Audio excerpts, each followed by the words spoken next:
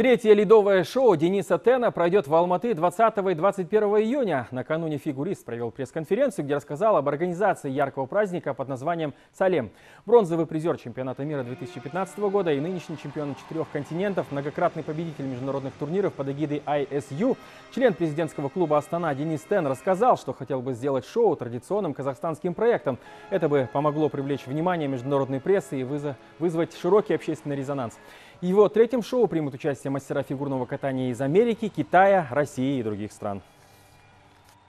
Шоу Денис Тен «Друзья» оно не является а, проектом, где просто используется мое имя. Я действительно вовлечен а, в саму организацию а, этого шоу, и для меня это просто как, как какой-то ребенок, как мой родной какой-то плод, который мы вынашиваем уже на протяжении трех лет, и хотим сделать его лучше, лучше, лучше.